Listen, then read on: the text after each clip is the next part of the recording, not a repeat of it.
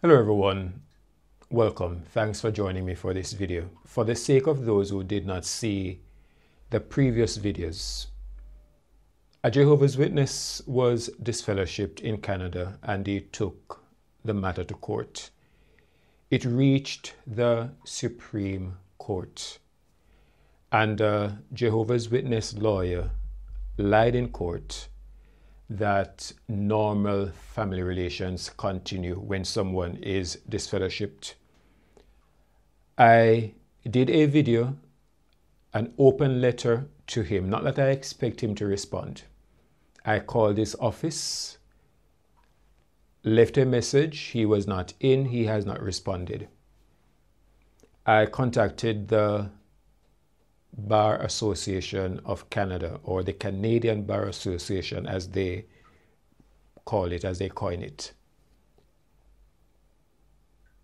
I did not get through because I called too late, so I emailed them the following day. I called, but I wasn't sure based on the system that they have, the departments that they're sending me to. I wasn't sure exactly which department to speak with. But I did try and got voicemail for one extension. However, I wrote to the association. I have not yet had a response. Mark you, early days yet. It's just been a few days. So maybe they will respond. But I am creating this video to say something to you. We have power. We do not have to sit as spectators to evil. We can do something about it. It is said that, I don't remember who made the statement, that all that is required for evil to prevail is that good men do nothing. It is not enough for us to sit down and complain about the injustices a number of persons have committed suicide because of the, well, someone says, I shouldn't say committed suicide. A number of persons have killed themselves, taken their own lives on account of the watchtower's inhumane treatment of them. It is emotional blackmail. It is, I have one person shunning me, one, and it does not feel good. I'm trying to imagine what, what it must be like to have everybody around you, all the people that you valued all your life, cutting you off. Your mother, your father, your siblings, your relatives cutting you off. It is severe emotional trauma that people go through, and you hear it every day. And the Watchtower is presenting this to people. Tony Morris member of the governing body, basically painting this evil as good, that if you do not do it, you are not worthy of Jesus. Giving the impression it is Jesus who's instructing all of this. They're telling Jehovah's Witnesses that this is the right thing to do. This is being loyal to Jehovah. That is what Jehovah's Witnesses are being told. Yet, when the matter is being examined in court, the lawyer doesn't go to court and say, This is God's provision. If we do not do it, we are not worthy of Jesus. He doesn't go to court and say, Paul stated at 1 Corinthians 5 that you should not speak with these persons. Because the organization twists the scriptures to say what Paul is not saying.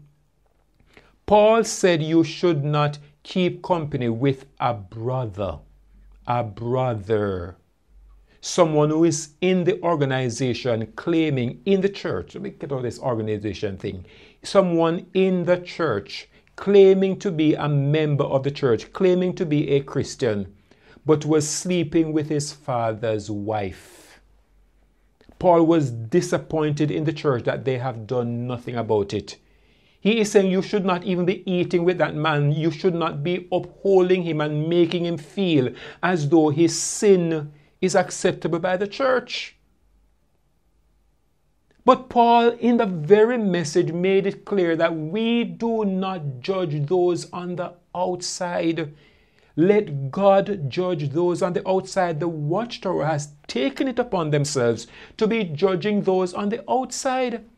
Because when the person becomes disfellowshipped, he is no longer a member of the church.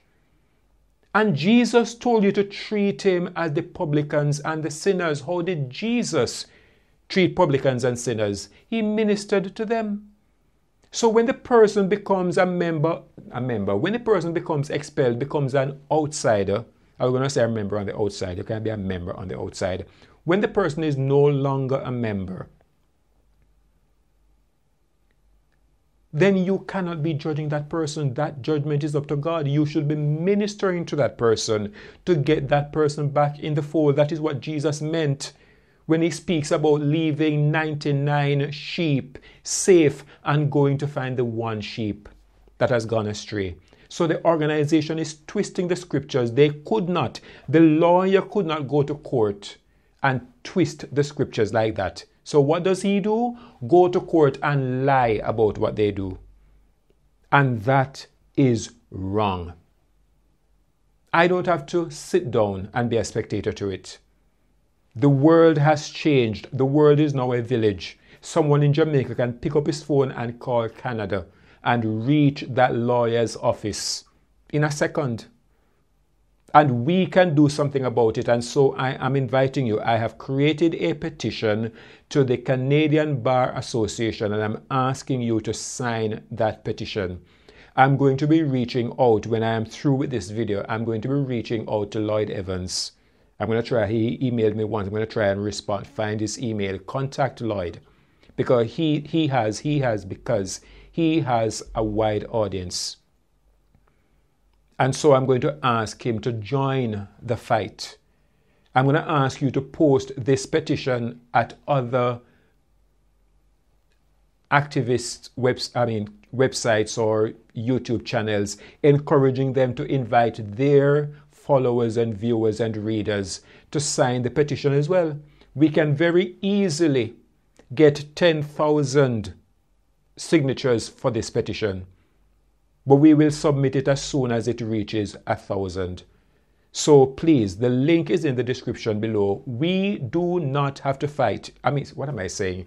We do not have to be spectators. We can fight.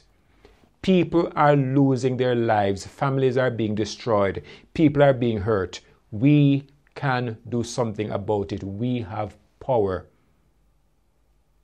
And it is far more likely that the Bar Association will do something about it when there are thousands of persons who are making the appeal.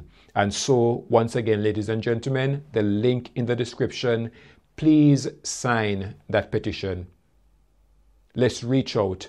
Let us fight for the lives that are being lost. Let us not have these persons die in vain while the watchtower continues its evil. Thanks for watching. Again, sign that petition and take very good care of yourself. May the grace of the Lord Jesus Christ and the love of God and the fellowship of the Holy Spirit be with you all.